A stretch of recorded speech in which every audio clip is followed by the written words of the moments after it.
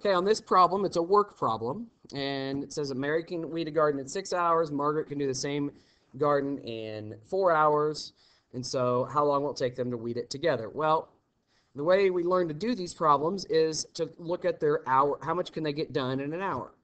Well, Mary can get one-sixth of the garden done in an hour. And then Margaret can get one-fourth of the garden done in an hour also. So after one hour, then how much total can they get done? Well, that's going to be equal to 1 over however long it takes them to do it together. If it took them two hours to do it together, then together they can get one half of it done in an hour.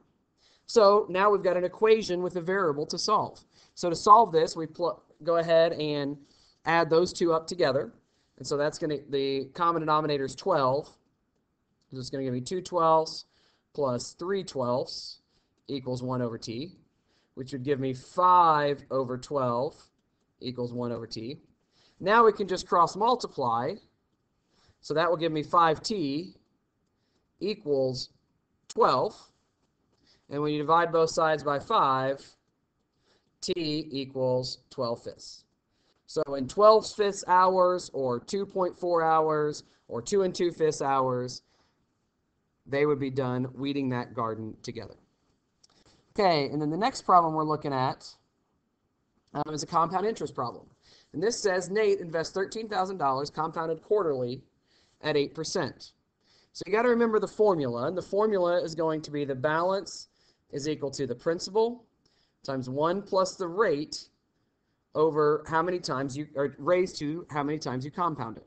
And remember, the rate needs to be based on when you're doing your compounding. In this case, we're compounding quarterly. So unfortunately, Nate doesn't get a compound 8% quarterly. He only gets a compound 2%, 8 divided by 4. So that's your quarterly rate. And so you start and you write your formula. The balance is equal to 13,000 times 1 plus the quarterly rate, which is 2%, and then raised to the amount of times um, this should be um, after eight years. I don't know why I didn't copy onto there. So um, should be after, how much does he have in count as after eight years? Well, if after eight years he's going to compound quarterly 32 times. So now we have an equation we can solve, just 13,000 times 1.02 raised to the 32nd power. So it's going to be 13,000 times 1.02 raised to the 32nd power equals $24,499 and rounded to 3 cents. And that's your answer. That's how much money is in his account after eight years.